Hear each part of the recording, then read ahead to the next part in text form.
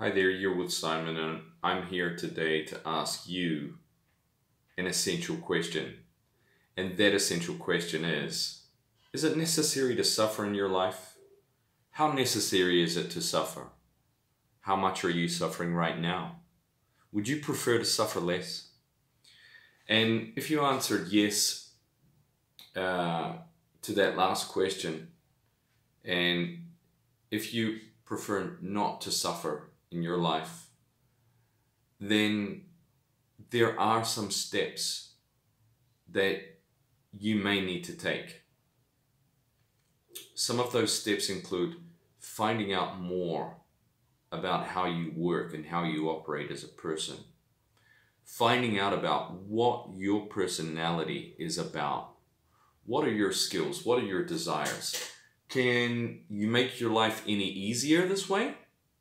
The answer is yes. By understanding yourself a little bit, sometimes you can avoid situations that would either put you in a situation where you would be overwhelmed or out of control, or um, potentially uh, in situations where you just can't deal with it at all.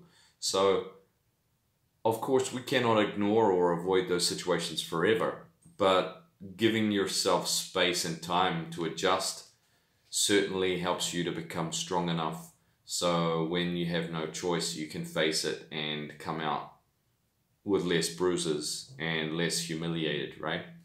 So it's all about making small progress in those areas of your life where you're having problems, where you're coming into conflicts. Will you need to be patient? Yes.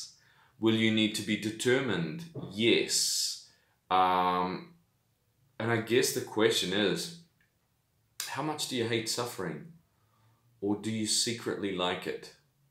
If you secretly like it and you it's not exactly that you like suffering. I think nobody actually likes suffering. Listen to how ridiculous that is. But the part that people like is when you open up to friends and colleagues and family members and you just tell them how how stupid you are and how how bad your life is.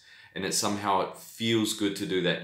That venting kind of sets your heart free and then you go back home feeling lighter, as if you've kind of let go of something which is mediocre.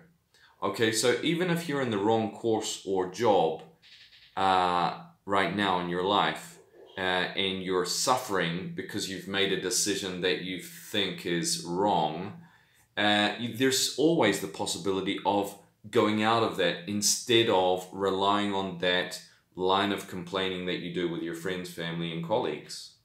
So sometimes you need to sacrifice your complaining, your daily, weekly, and monthly complaining to the people around you and focus on the possibility of changing, getting out of where you are, moving, changing the scenery, of course, you know. Uh, creating your own destiny and letting go of the things that don't bring you satisfaction that are not aligned with your desires okay so that is what I'm promoting today. Uh, this will be the first video of Sufferless. I'll share the next one with you in a few days or a week and we'll talk about that next time on English Coach.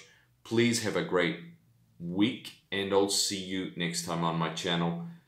Please subscribe, like, dislike, send a comment, ask a question.